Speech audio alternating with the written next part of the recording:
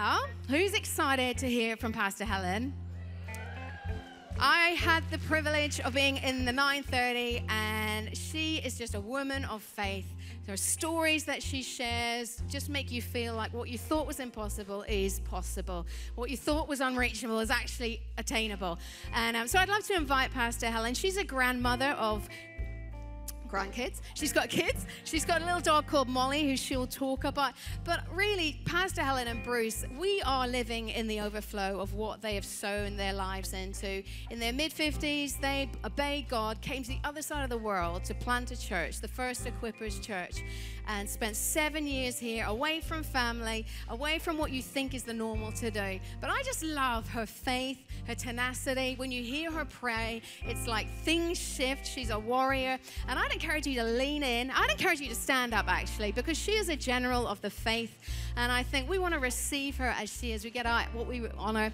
And so, would you put your hands together for Pastor Helen this morning?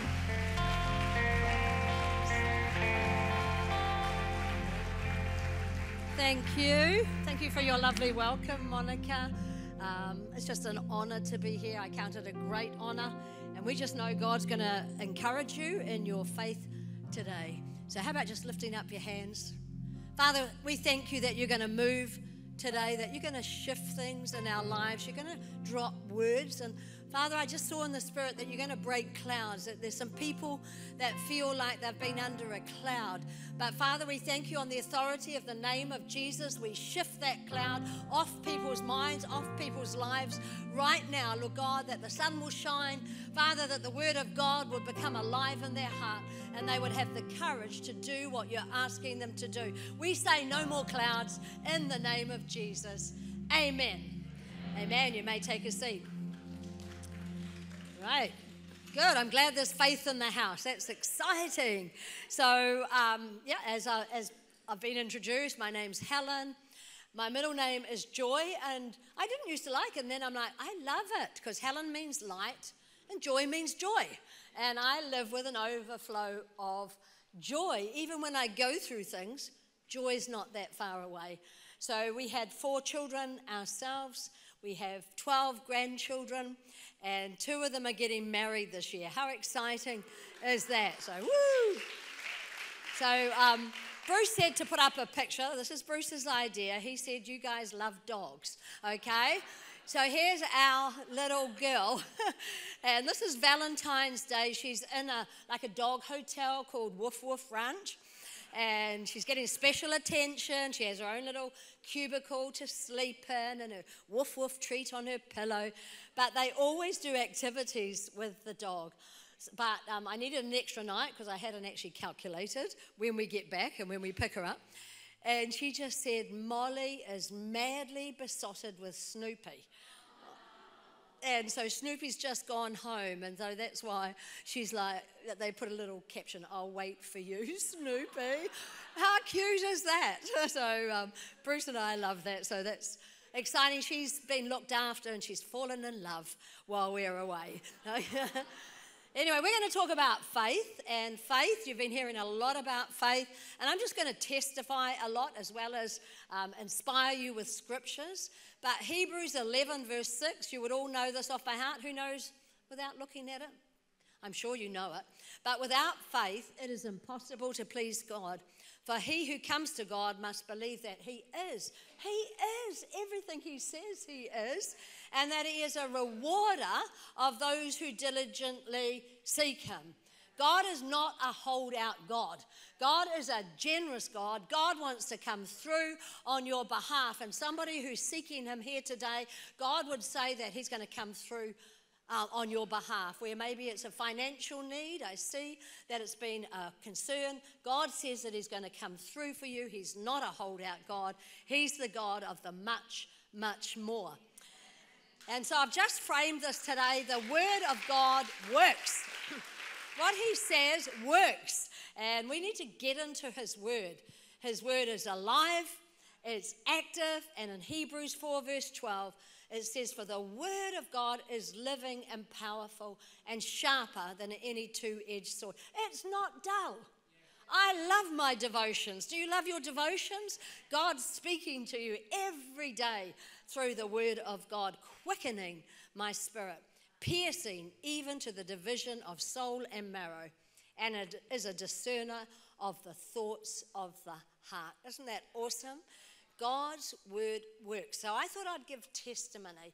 In the year 2000, Bruce and I, and Monica has alluded to it, left New Zealand and came to London. We had a prompting in the spirit and to plant a church here. We saw a church plant here being like a beachhead into Europe. We'd plant a church here, would overflow into Europe. And so here's the scriptures that we've got that we prayed at that time that we have seen come to pass. The word of God comes to pass. Won't tarry, but it will be fulfilled. And these are the specific words to encourage you to believe the word of God. When He speaks, He purposes it to outwork that word as long as we hold on. So, Isaiah 60, verse 22, was a word Bruce and I prayed, a little one, because we were little to start in Isleworth, shall become a thousand, and a small one, a great nation. I, the Lord, will hasten it in its time. Another one we prayed was Genesis 49 22. Joseph is a fruitful bough, a fruitful bough by a well, and his branches run over the wall. And that's where we saw that the branches of equippers, the fruit of equippers, the life of equippers would run over into Europe. You know, without God, without faith, that's too big. That's an impossible task. But when we trust God to fulfill His word, we are faithful to pray His word and reinforce it with our actions, God works. And we were just in a, um, a leader seminar in Budapest, and we just marvel that those words, the little one, the small, you know, shall become a thousand. Equippers UK collectively is over a thousand people. Isn't that awesome? God has fulfilled that word. When we looked in Europe, and there's more people seeking to attach, as like other countries, there are 22 churches in Europe, the UK and Europe. Hallelujah. That's Equippers churches. Of course, there's other churches. So the word of God works. And faith in his word brings the breakthrough. So if you're holding out, keep going. Keep reinforcing that word. Keep sending it forth in prayer. Keep proclaiming it because God is faithful to his word. So, how do we grow in faith? By hearing. Romans 10 17. Faith comes by hearing, and hearing by the word of God. That's why your devotion life is important. That's why the preaching of the word is important. And I just pray faith will catch today. That something will ignite in your heart. There'd be a spring. It'd be like, that's right. I remember what God has said. And I believe the man on the end, God says he's reminding you of promises that you've held in your heart that maybe have died down a little bit, but God said he's stirring them up. That they're going to come up in your mind, they're going to come up in your heart, and you're going to run on these promises because you're about to see them happen. God says, I'm getting you ready, and you're going to move into everything that I've promised. Amen. Amen. So we Faith comes by hearing, and hearing by the word of God, by exercising our faith. Come on, how does our faith muscle grow? You know, I thought I had faith, and then God said, No, your faith muscle is much too small. And I had to go on a journey of discovering what it meant to grow my muscle of faith. And at that time, it was learning how to pray prophetically, learning how to find the word and praying that word out going like, that's the prophetic word. When it caught in my spirit, that's the answer. Then I was able to grow in faith by using that word against the enemy. The disciples came up to Jesus in Luke 17, this won't go on the board, 5 and 6. They said, Increase our faith, give us more faith. But the master said, You don't need more faith. There's no more or less in faith. If you have a bare kernel of faith, say the size of a poppy seed, some say mustard seed. You could say to this sycamore tree, go jump in the lake and it would do it. We need to exercise the faith that we have to see the results and the authority God has given us. So I'm going to talk to you today about strengthening your faith. Do you want to flex your muscle? Does your faith muscle need to get stronger? Yes, okay, it does. We can think we're strong, but then under pressure, how strong are we? How, you know, how do we stand up in faith? And I want to, the first point, I've got three W's, is worship. Come on, worship is beholding God. And thank you, team, for a lovely worship um, session this morning where we all engaged. But worship's not just a Sunday event, it's a daily event where we behold God, where we stand and we worship Him for who He is. When we worship, it gives us a greater view of who He is and it releases more revelation. You cannot worship without beholding Him. Otherwise, is it worship? When we're saying, You're worthy, God, you're amazing, God, you're true to who you say you are, God, you're above the heavens, God, you have all authority. For me, worship answers everything. When I'm in the presence of God and I worship, anxiety drops. You know, anything I might be worried about all comes into the priority list, changes. My heart relaxes and I worship God. Surrender happens in worship. That's why. And a lot of people go like, I haven't got time to worship. I like what Sam says. He says, there's enough time. You've got enough time to do the will of God. God wouldn't say, This is my will for you, but no, I'm not going to give you enough time. It's we who keep ourselves so busy, so harried, so scrambling around, frustrated, whereas we need to make time for worship. And maybe that's a challenge for you here today to worship. Get in that quiet place, lift your heart, behold Him. And here's where we can look at our, our God and just say how amazing He is. Psalm 113, verse 4 to 9. The Lord is high. Is He in that position? Come on, this is faith, challenges of faith. High above all nations, His glory above the heavens. Who is like the Lord our God, who dwells on high, who humbles himself to behold the things that are in the heavens and the earth? He raises the poor out of the dust and he lifts the needy out of the ash heap. Aren't you glad about that? And I love how this verse was headed up. It said, The majesty and condensation, condescension of God, not condensation. That's what we get when the room's too hot. okay, the majesty and condescension of God. When we think of condescending, if somebody was condescending, we'd be saying they're looking from a prideful attitude, looking down on others like they think they're better. But that is not the heart with, uh, of God. It's not so with God. He looks from not from a prideful heart, but a pure heart with sincere love. He's God, but he condescends. And in some versions it says he stoops to behold those on the earth, to lift those out of the ash heap, and to lift the needy, and to place them with princes and kings. And that makes me want to worship. God is able to bend without losing any aspect of himself. Don't you just love God? How personal is that? That he's a great God, but he can come down to where we are to lift us up. Jesus stooped. And I'm just going to tell you a little story about Benjamin Franklin.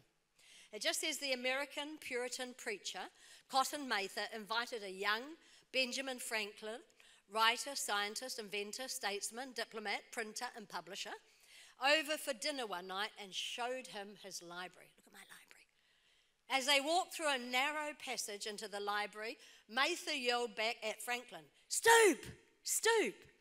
Franklin didn't understand the exaltation until it was too late, bumping his head on a low beam. Mather turned the situation into a sermon. Let this be a caution to you not always to hold your head so high. Stoop, young man. Stoop as you go through this world, and you'll miss many hard thumps. Who knows that we can have hard thumps just through life? Sometimes through sickness, through situations, from breakdowns and different things, breakdowns of relationship. You know, we can receive hard thumps. But sometimes we invite hard thumps where we hit our head because we're prideful, we're independent, we're rebellious, or careless. And I know that doesn't apply to any of you in this room. But let's not be wise in our own eyes. Many years later, Franklin told Mather's son that he never forgot that moment. This advice, thus bit into my head, has frequently been of use to me, said Franklin. And I often think of it when I see pride mortified and misfortunes brought upon people by carrying their heads too high. We know that Jesus is the glory and the lifter of our heads because our heads have been down. But when our heads are up because we're proud, because we think we know better than God, then we're likely to come up against obstacles and hurt ourselves in the process. Pride is the first chapter in the book of failure. When we hold our head too high and against the wisdom and the word of God. Humility is the first chapter in the book of success. Depending on God, loving God, worshiping God. This is the first chapter of the book of success where you'll see God's word working for you, God's on your side. So, how about we stoop to behold? Just lift your head now and your eyes and behold God. Come on, He wants to show you and I more and more of Himself. Behold the beauty of Christ in your life and all in the people around you. God is to be worshipped. To stoop is to be thankful. Oh God, I lift my heart. I look and I acknowledge all that you've done. How often do people forget to be thankful? Let's be generous people that thank God for his generosity towards us. His heart is always open. You know, maybe we need to recognize where we maybe, maybe got our head too high. How do we turn around? We've got to acknowledge we're in the wrong place. Maybe pride has been elevated. Maybe we've followed our own reasoning. Maybe we've let doubt or fear come in. Maybe the enemy's lied to us and taken us into a wrong place. And I just want to share the story of Ruth, which you're probably well familiar with, but we'll use this as a basis. So I'm going to read from Ruth chapter 1, verse 1 to 7. If you can read along on the screen, would be great. Now it came to pass in the days when the judges ruled that there was a famine in the land. And a certain man of Bethlehem, Judah, went to dwell in the country of Moab, he and his wife and his two sons. The name of the man was Elimelech, the name of his wife was Naomi, and the names of his two sons were Mahlon and Chilion, Ephrathites of Bethlehem. I can normally say that. And they went to the country of Moab and remained there. Then Elimelech, Naomi's husband, died. She was left and her two sons now they took wives of the woman of Moab. The name of the one was Orpah, the name of the other Ruth, and they dwelt there about 10 years. Then both Mahlon and Chilion also died. So the woman survived her two sons and her husband. And in verse 6, she arose with her daughter in laws that she might return from the country of Moab. For she had heard in the country of Moab that the Lord had visited his people by giving them bread. Therefore, she went out from the place where she was, and her two daughter in laws with her, and they went on the way to return to the land of Judah. What was the turnaround in Naomi? It was she embraced the truth that she was actually in the wrong place. They were in the wrong place because of unbelief. There was a famine in the land, and they sought to save themselves, to spare themselves, and they ran away. Instead of running to God in faith, they ran away from Him. And we've got to make sure when we're in a hard time, we run to God, not from God, not relying on our own um, ability to try it and work it out, but we trust God. Do you know there is provision even in hard times? Sometimes it's miraculous, like manna in the hard times of our lives. I find God drops things for me, a revelation that hold me, even when I go through a difficult time. The Word of God works. But this couple had run away, they were in a bad place. She makes a decision to return. She's got a glimmer of hope that maybe things will be different if she returns to her homeland. She's acknowledged she's in the wrong place. She's acknowledged that she's out of covering. She's acknowledging that things have gone bad and she's suffering as a result, and she makes a wise decision. I'm going to turn myself around and I'm coming back to faith.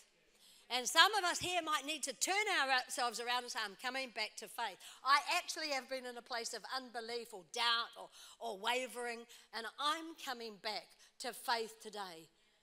There are places, certain attitudes or unbelief we cannot afford to stay in any longer.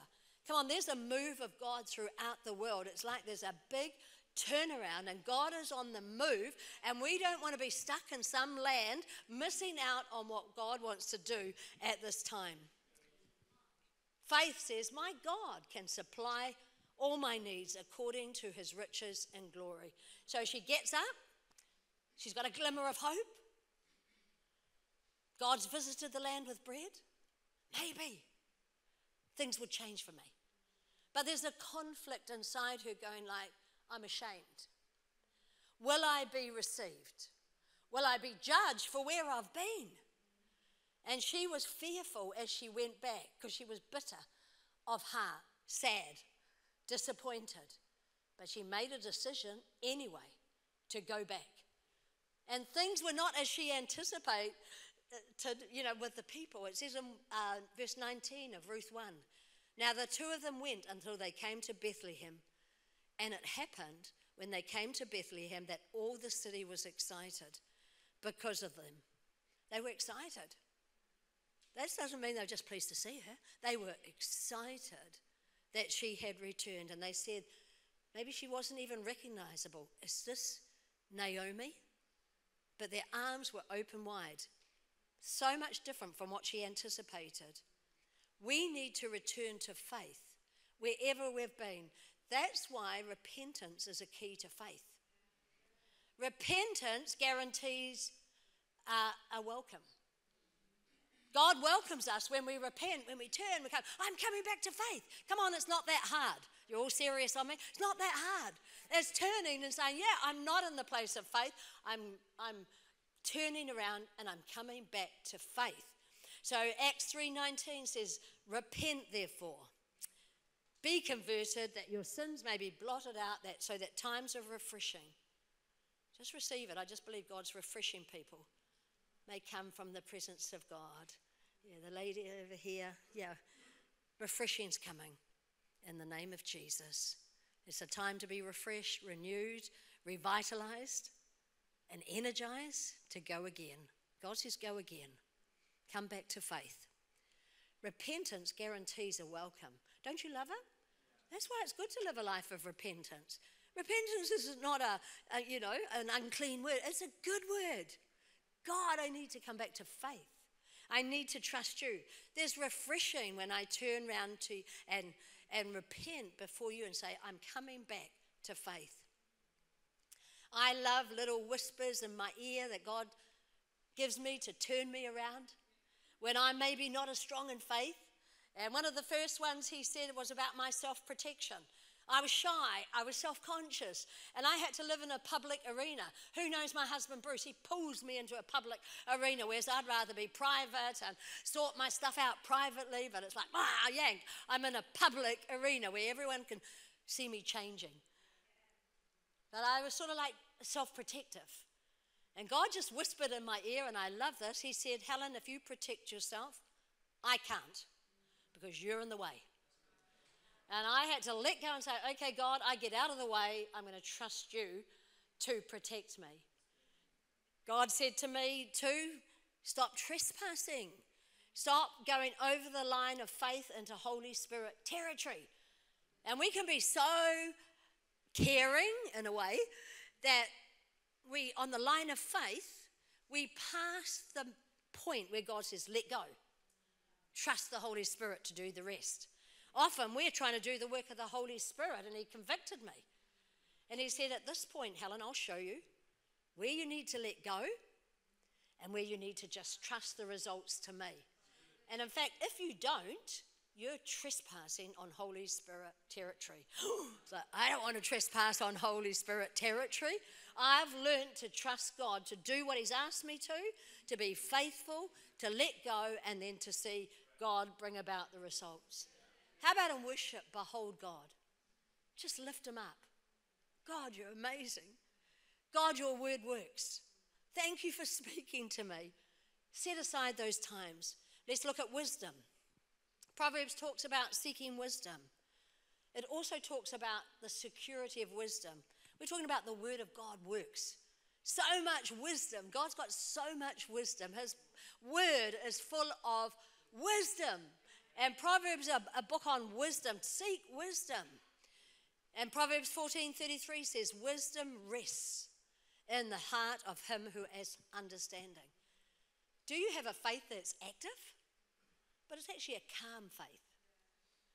Do you have a calm faith? That you've got faith, you're fired up, you're moving, but you're calm. Because you know the results and the wisdom that God brings will just work. So it says, exalt wisdom in Proverbs 4 7 and 8, and she will promote you. She will bring you honor when you embrace her. And I go around like, if I don't know what to do, oh Lord, I just embrace your wisdom. In prayer, I picture myself embracing wisdom, and wisdom will promote me. And I get all sorts of downloads like, I couldn't have thought of that. That's the way forward. That brings calm to any question that I have. And we see that in the book of Ruth, Boaz advised Ruth when she was out trying to glean, trying to get a bit of bread for her and Naomi. He says to her, Don't glean in another field, nor go from here, but stay close by my young woman. Let your eyes be on the field which they reap and go after them. More or less, what he was saying is, Stay in this field of favor. When Naomi returned, not only did she get a welcome, she got an entry into the field of favor, where God had gone before to set up things for her that not only would her life turn around, that we see the results Ruth marries Boaz, or Boaz marries Ruth, and they have a son, and that son is in the lineage of David and in the line of Jesus. How amazing, what a turnaround story. But the advice was stay in your field of favor. God has a field of favor, and often we think, oh, I need to go here, I need to go there, I need to. And, and we, we get a bit frantic. Stay and glean. Get in the slipstream of others of faith who have gone before you because there's enough in their lives that overflows. And grain dropped purposely for Ruth to pick up. And she prospered as a, re- a result. Bruce and I watched a, a, little bit of a dumb movie just to relax. I'm not really a movie person, bit of a dumb movie. But wow, I got a profound statement out of it. It was a romantic comedy. Um, it just says if you sit in the question, the answer will find you. That's so true. I can testify to that. That God will always give you the answer if you don't panic. Don't panic, pray. When you don't panic, the answer will come if you sit in the question. Meditate it, give it to God. Say, Show me the way forward. Show me your wisdom. I embrace your wisdom. And faith can be such fun. And I'm going to share a couple of fun things with you. That from Psalm 5, verse 12, God says, For you, O Lord, will bless the righteous. With favor, you will surround him. And I took this verse like a favor shield. We've got a favor shield we can dress ourselves in. And we had a need. There was a hundred children. We couldn't fit into the theatre when we went back. The little kids had all got in, but there was a hundred others. And we're like, where are we going to, you know, locate them, accommodate them in their programs? And God gave me a download. Ask the restaurant on the corner if they would delay their opening an hour and let the children come in for five weeks in a row. Do you think that was a crazy ask? But we had a cheeky faith, and we're like, come on, team, we're going to put our favor shield around us. That was the word for the moment. Like, we're going to wear our favor shield, and we're irresistible. You know they can't say no to us because we've got, you said you will surround the righteous with favor. We're donning our favor shield, and we're going. We went, we asked, they said, Well, think about it. I went back and I said, cheekily, Is it a yes or is it a no? They said it's a yes. And they accommodated, put their business hours back, accommodated 100 children for five Sundays in a row. Awesome? Come on, get a bit cheeky. Yeah, just go out there. If there's a need, God's more aware of the need than you are, and He will accommodate it. And I asked for the invoice twice, no invoice. That was God. That was a word of wisdom, what to do in the season. And it was based on the word of God, our favor shield upon us. Then I'm going to tell you another one, and this is recent. I'm um, looking at the time, okay. Bruce and I decided we're going to move from apartment live, um, from house, living in the house, to an apartment.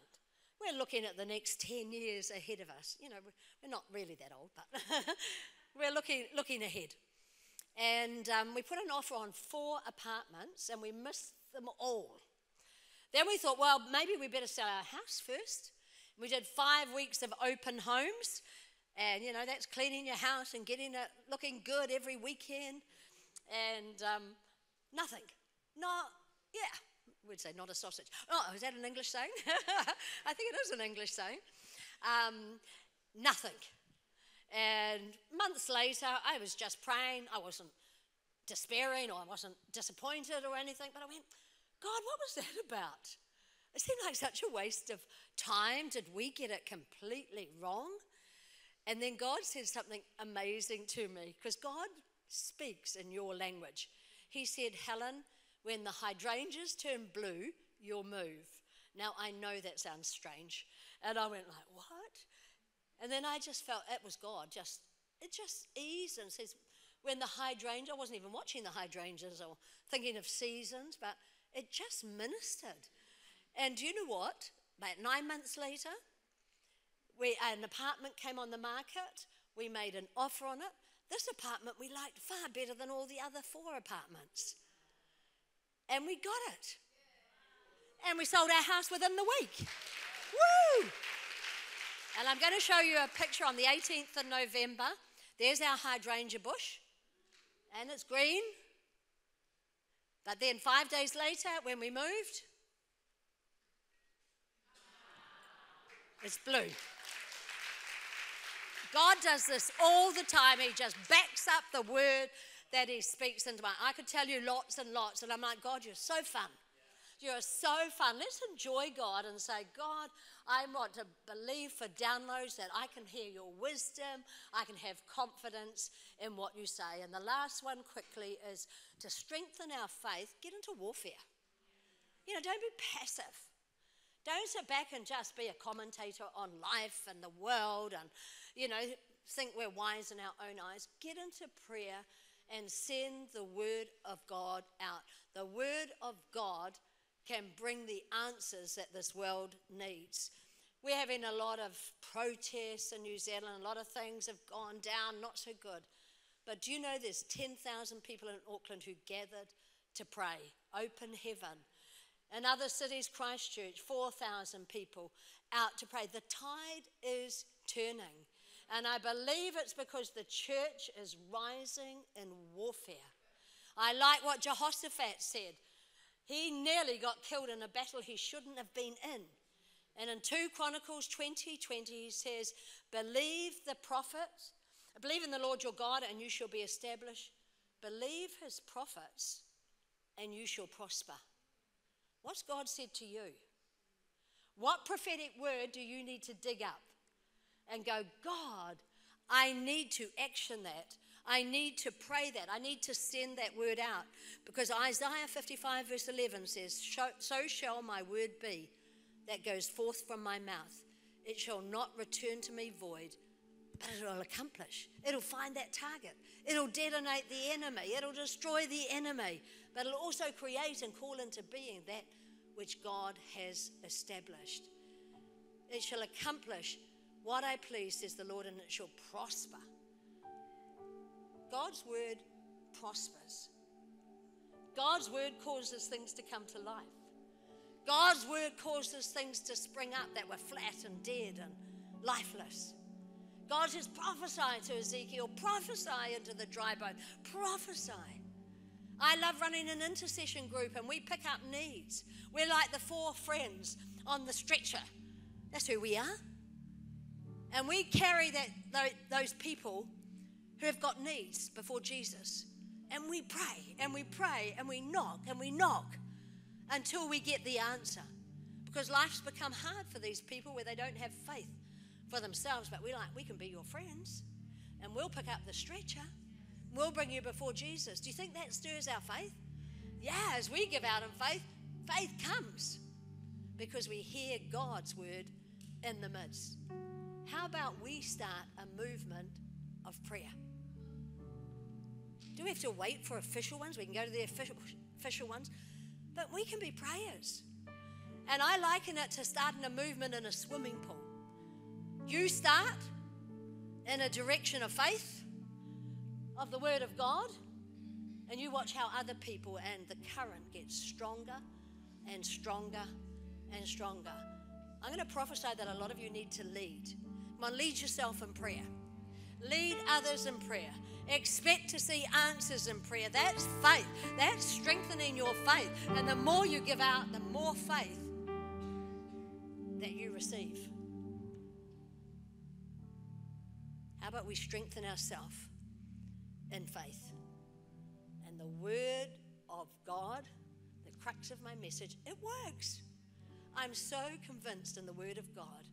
That's why I love it. That's why it's, you know, for the big picture, but it's also for the individual. How well do you know the Word of God? Do you just sit, leave it till Sundays? Or are you searching? Are you picking up the stretcher? Are you reaching out in faith? Are we walking with our head too high, thinking, I know it all? Let's behold God. Let's worship. And I believe just for a whole new spirit of worship in this place. So, yeah, if the team want to come behind, how about you stand with me? What an awesome church you are. God's smiling on you, son. His smile is towards you.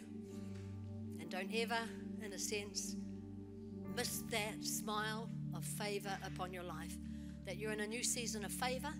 The old is gone. It's like God's cut you off from something from the past and you're entering into a brand new season.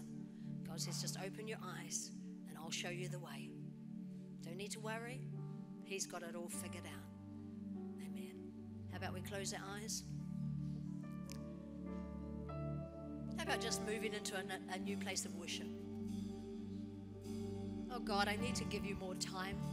It's not a legal thing, not a, it's just a relational flow.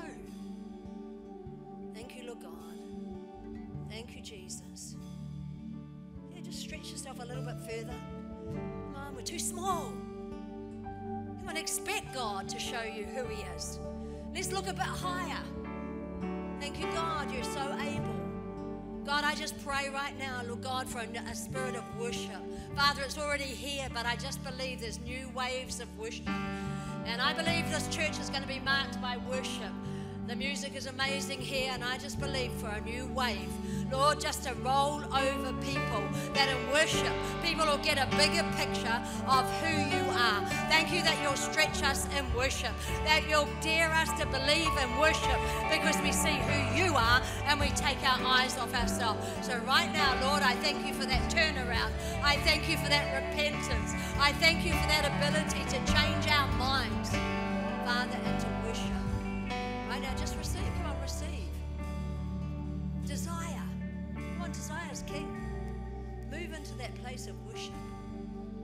Wisdom.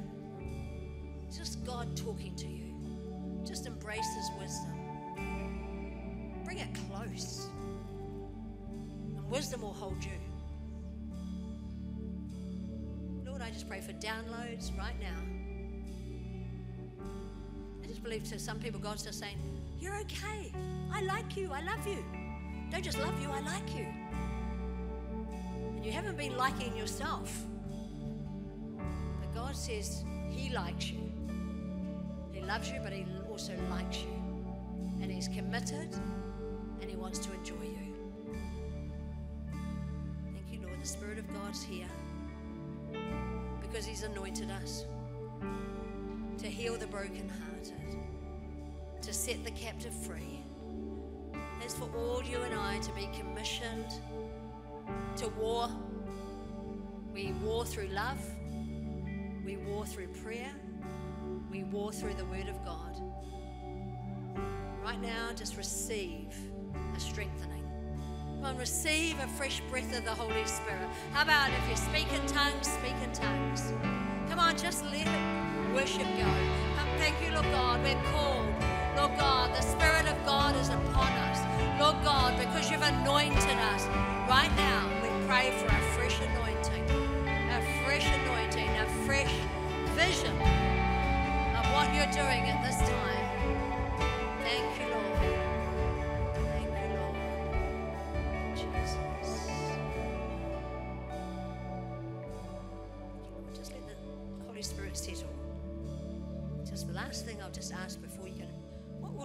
your story of faith?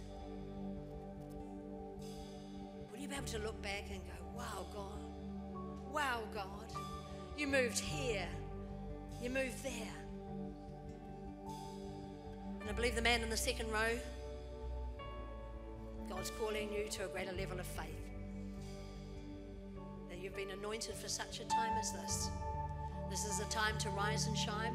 This is a time to be everything God's called you to be and put aside the doubts, put aside the fears. And God says, You're the one I've chosen. It's you.